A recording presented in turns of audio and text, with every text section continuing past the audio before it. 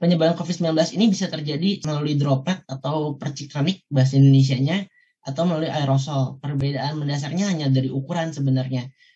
Untuk droplet ini biasanya saat orang batuk atau berbicara mengeluarkan air liur yang berukuran 5 sampai 10 mikrometer. Nah, kalau aerosol itu ukurannya di bawah 5 mikrometer. Nah, pada penyebaran dengan droplet karena ukurannya lebih besar, dia cenderung lebih, karena lebih berat lebih mudah tertarik oleh gravitasi kemudian jatuh ke permukaan tanah atau lantai. Nah, oleh karena itu dia menularnya eh, hanya dalam kontak dekat di bawah satu meter.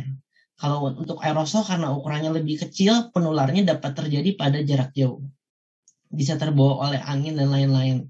Nah, penularan ini bisa terjadi melalui hidung, mulut, dan mata. Oleh karena itu, sangat penting kita menggunakan masker dengan benar yang menutupi hidung dan mulut.